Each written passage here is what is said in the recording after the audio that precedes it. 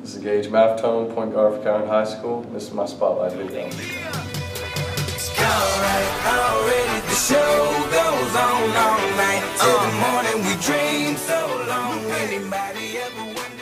What inspired you to play basketball?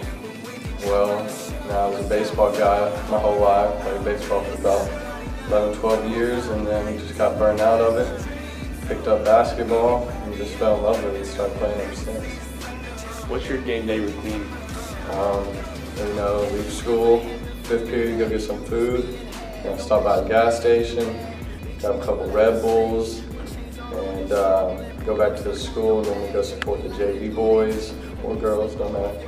Go watch their game for a minute, and then uh, go get some shots in, get my ankles taped, go stretch for a little bit, and then uh, drink the Red Bulls.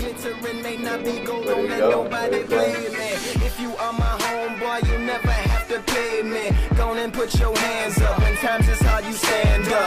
Lupe the man, cause a brand that the fans trust. So even if they How are y'all preparing for the music tournament?